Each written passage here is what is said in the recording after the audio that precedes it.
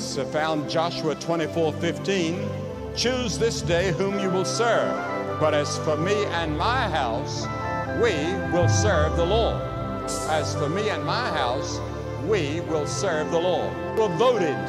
And now, at the end of his life, he's called all the people together at Shechem. And he was telling them, You've got to make a choice. It's between Baal and God. Which is it going to be? Now, they made decisions and they cast their votes, no matter what the cost was, because of what they believed.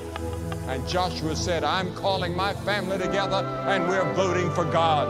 And Joshua says that such a condition continue.